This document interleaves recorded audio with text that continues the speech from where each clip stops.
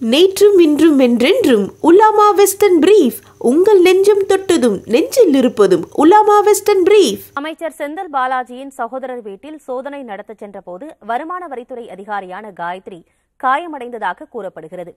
சோதனைக்கு சென்றபோது நடந்தது என்ன? அதிகாரி காயத்ரியின் பின்னணி என்ன? பார்க்கலாம். கரூர் ராமகிருஷ்ணாபுரத்தில் உள்ள அமைச்சர் செந்தில் பாலாஜியின் சகோதரர் அசோக்குமார் வீட்டில் வருமான வரித்துறை அதிகாரி காயத்ரி உட்பட மூன்று பேர் சோதனை நடத்தச் சென்றனர். அப்போது அதிகாரிகளை சூழ்ந்து கொண்டு திமுகவினர் தகராறில் ஈடுபட்டனர். இதில் அதிகாரி காயத்ரிக்கு காயம் ஏற்பட்டுள்ளதாகவும் சம்பவம் குறித்து காவல்துறையில் புகார் அளிக்க முடிவு செய்துள்ளதாகவும் கூறப்படுகிறது. வருமான வரித்துறை அதிகாரியாக இருக்கும் காயத்ரி தடகளத்தில் இந்தியாவிற்காக தங்கப்பதக்கம் வென்று தந்தவர். திருச்சி மாவட்டம் அரியலூர் அருகே உள்ள கிராமத்தில் பிறந்த அவர் சிறுவயதிலிருந்தே தடகளத்தில் ஆர்வம் கொண்டிருந்தார்.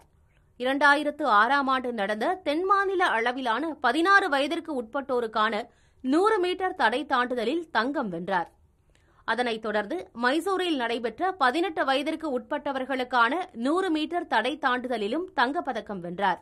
தடை தாண்டுதலில் தங்கம் வென்றது மட்டுமில்லாமல் பதினான்கு புள்ளி பூஜ்ஜியம் நான்கு வினாடிகளில் இலக்கை கடந்து தேசிய அளவில் சாதனையும் நிகழ்த்தினார். இரண்டாயிரத்து எட்டாம் ஆண்டு நடைபெற்ற ஜூனியர் காமன்வெல்த் போட்டியில் நூறு மீட்டர் தடை தாண்டுதல் மற்றும் மும்முனை தாண்டுதல் போட்டியில் வெள்ளியும் நானூறு மீட்டர் தொடர் ஓட்டத்தில் தங்கம் என இந்தியாவிற்காக மூன்று பதக்கங்களை வென்று அசத்தினார். இரண்டாயிரத்து பதினாறாம் ஆண்டு தெற்காசிய விளையாட்டுப் போட்டியில் பங்கேற்ற காயத்ரி நூறு மீட்டர் தடை தாண்டுதலில் தங்கம் வென்று சாதித்தார்.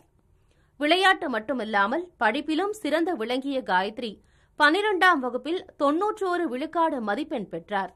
கணினி அறிவியல் பிரிவில் பொறியியல் பட்டமும் பெற்றுள்ளார். நேற்றும் இன்றும் என்றென்றும் உலாமா வெஸ்டர்ன் பிரீஃப் உங்கள் நெஞ்சம் தொட்டதும் நெஞ்சில் இருப்பதும் உலாமா வெஸ்டர்ன் பிரீஃப்.